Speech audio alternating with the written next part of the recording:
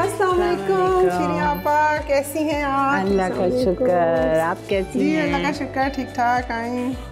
तो बहुत बड़ी फ़ैन हूँ आपकी। अब जितनी खुशी हो रही है कि आज आप मेरे घर आई हैं बहुत ज़्यादा एक्साइटमेंट हो रही है। आपको कब से कुकिंग का शौक है? आ, मैं ना बहुत अर्ली कुकिंग का मुझे बहुत शुरू से शौक था। मैट्रिक के बाद से मैंने घर में कुकिंग शुरू कर दी थी। और मास्टर्स के बाद से फिर प्रॉपर इसको एक थोड़ा सा मैं करती भी हूँ होम कुक फ्रोज़न फ़ूड का भी और कुकिंग का भी। वैसे बेसिकली मैं लेक्चरार हूँ।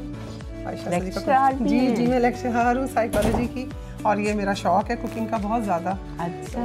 फिर जब से एफ़ एन एफ़ ज्वाइन किया आप जानती होंगी सरकुरम को तो उसके बाद से बहुत ज़्यादा इसमें इंटरेस्ट पैदा हो गया है कि चीज़ों को डिकोर कैसे करना है प्रेजेंट कैसे करना है और इतने होते हैं हमारे। ये आपका जो। ग्रुप है इसकी वजह से बहुत आप लोगों जी बहुत बहुत ग्रूमिंग हुई है। घर हम तो हाँ। घरों में रहते थे फिर वो हमें तो कोई जानता नहीं था लेकिन सर की वजह से इस ग्रुप की वजह से।